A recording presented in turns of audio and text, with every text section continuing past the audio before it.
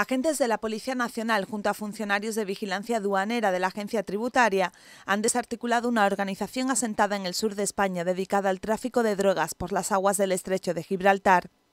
Han sido detenidas ocho personas, incluidos los responsables del grupo, y se han intervenido 25 fardos con un peso aproximado de 750 kilogramos de hachís, además de dos embarcaciones, cuatro vehículos, tres pistolas de fogueo manipuladas y diversos efectos y documentos. Las investigaciones se iniciaron a finales del 2016, tras detectarse una reunión entre uno de los investigados con varios ciudadanos marroquíes en torno a una embarcación atracada en Santipetri.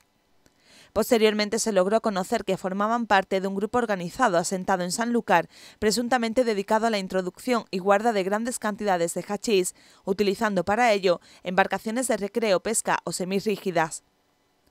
La organización estaba liderada por dos personas que contaban con el apoyo de varios intermediarios de origen marroquí, asentados en Ceuta, con los que se encontraban preparando tres operaciones de narcotráfico.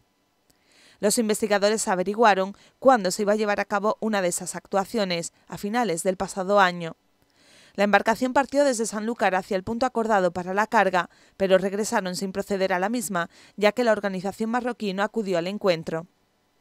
Los investigados intensificaron entonces los contactos para concretar una nueva operación.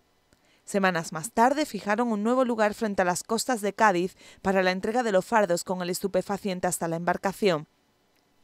Una vez que los miembros de la organización recogieron los paquetes, pusieron rumbo a Sanlúcar para proceder a su descarga.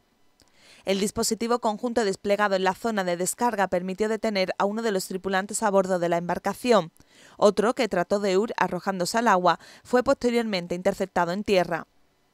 Los agentes se incautaron de aproximadamente 750 kilos de hachís que pretendían introducir en España. En los instantes posteriores se pudo arrestar a otros dos miembros del grupo que se encontraban en las inmediaciones del lugar donde se iba a producir el alijo.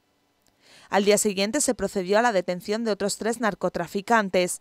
Entre los arrestados están los responsables de la organización, los encargados de logística, los tripulantes de la embarcación y el responsable de los alijadores en la playa.